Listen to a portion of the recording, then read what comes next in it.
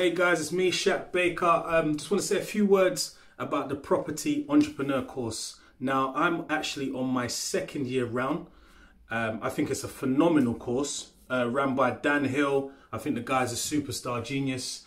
Um, the level of accountability that I get from the course and just being in the room, you've got to be in it to win it.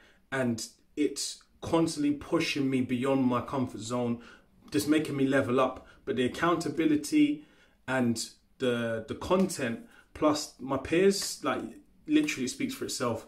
I've done like I said I've done last year and I feel like I missed a couple of tricks. Started the second year, I literally got my head down, started knocking things out the park and I ended up winning strategy of the year for 2020. So it speaks for itself, guys. I mean, if you want to take things to the next level, if you're at a point where you want to get your business and you really want to break through certain boundaries or just stick a rocket up it, that's really what I'm here for, then I highly, highly recommend Property Entrepreneur. And um, it's full of great people. The peers are absolutely, absolutely phenomenal. This guy's doing, you know, amazing things. So, like I said, I highly recommend the course.